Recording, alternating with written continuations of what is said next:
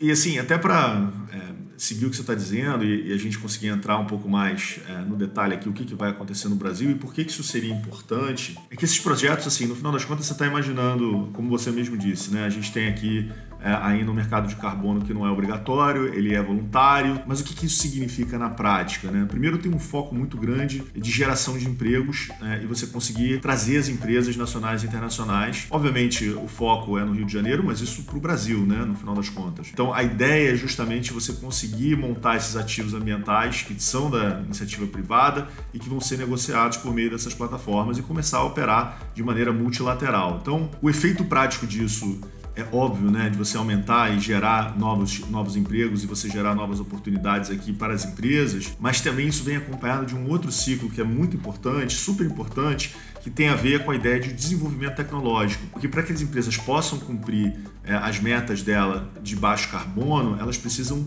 desenvolver tecnologias que sejam inovações que permitam a redução do carbono. Então a ideia também de estimular as empresas a ser enfim, ficar aqui no Rio de Janeiro ou ficar aqui no Brasil para operar na Bolsa do Rio de Janeiro tem muito a ver também com o desenvolvimento tecnológico, que no final das contas as empresas não são automaticamente neutras em carbono, né? Você tem que fazer um diagnóstico, entender é, como é que esse diagnóstico se aplica, assim, qual é o seu grau de poluição, entender né, como é que é o projeto para você fazer isso. E isso, além tudo, além de tudo, tem que estar tá ainda em compasso né, com a compatibilidade com as metas setoriais que já estão estabelecidas no compromisso do Brasil. O Brasil já entrou, você falou da COP26, né?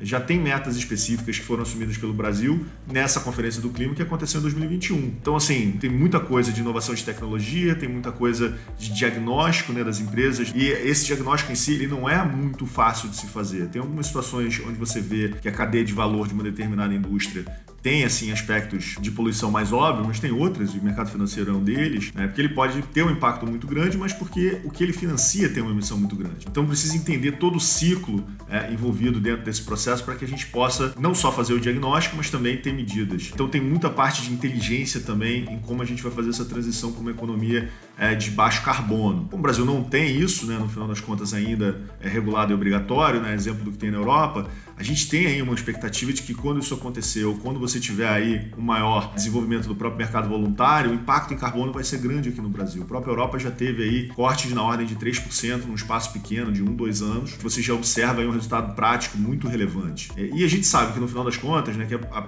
a ideia da, de você conseguir instrumentalizar isso e precificar carbono é só um dos instrumentos, né? Como se a gente estivesse puxando aí um novelo de lã para poder desenvolver aí um grande marco regulatório de adaptação a mudanças climáticas e a partir disso você conseguir desenvolver um outro modelo de sociedade com novas oportunidades de emprego, com novas possibilidades de inovação tecnológica. E muita coisa para acontecer.